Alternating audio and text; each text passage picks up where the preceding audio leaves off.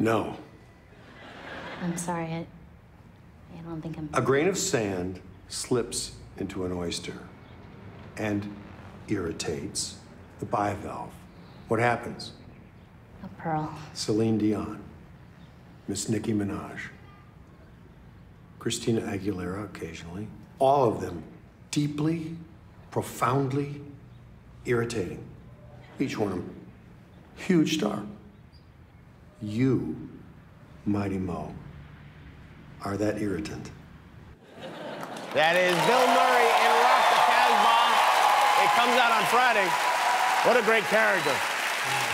This is a music manager. Is this this character based on a, a real person or group of people? Well, it's not based on any real person. It's based on a, a lifestyle, a lifestyle of sleaze, I guess you'd call it. but no, there's a couple of people that that I saw. I saw the great Bill Graham, and I saw locally. I saw Ron Delsener, and I saw both these guys at the peak of their insanity, and they were fun to watch. Ron Delsener is a local character Yeah. who promoted uh, music. And Bill Graham's not a guy I, I ever met. I, of course, you see his name on all the posters, but Yeah. was Ron Delsener like this? Because I, I watched the movie. I find it Jimmy, hard to believe he- anyone He's was alive, like okay? Jim, he's alive, all right? No, Ron Delsener has just got the craziest, he's just this craziest Jewish guy who's just nutty as hell and says insane things that you'd think he would go to jail for. And he doesn't because he's so, he's funny. He's just really a funny guy. I And he know produ- somebody he- else like that, actually. yeah, he, yeah, I know. But he's just he is just the craziest promoter and has seen more weird stuff. They've seen every kind of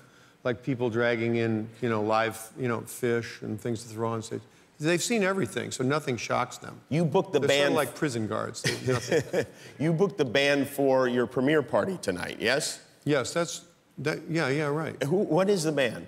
Um, I can't. Their name is like Chevy Chase, but not really. I can't even come up with a name with it. But they're the hottest band in the world. And they played my son's wedding a few weeks ago. And they said we want to have a party. I said, well, I saw these guys just tear up 300 wedding guests, and they're fun. And will you dance at the party? Will you really like enjoy yourself at Well, I a danced party at like the that? wedding. I don't see I can avoid this either. I had I was in charge of like widows and uh, wives with uh, inf- infirm husbands and uh, ins- criminally insane. Those are the ones I had to dance with.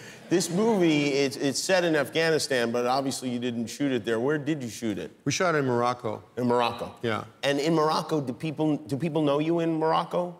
The citizenry? No, They do not. no.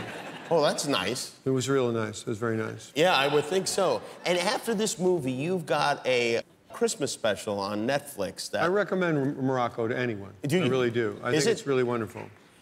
this Christmas special. Um, Not just because they they're fun, but it's a funny. It's a nice uh, for like the cowards in the audience. You know who you are. You know, it's it's like the easy. It's entry level Africa and entry level, entry level uh, entry level Muslim world, and uh, they're the most generous, uh, kind, normal, nice people, and it's beautiful. It's a spectacular. they like Americans there? Getting, I'm receiving nothing for that, and just saying, it's nice. You don't get a rug or anything They like, like that? Americans. No, they're just really sweet. They're really gentle people. It's a nice place to be. You- Nice. I'd go back there and work anytime. Hi, I'm Jimmy Kimmel. Thanks for watching. If you'd like to see more, click below to subscribe to our YouTube channel. And if not, do nothing at all.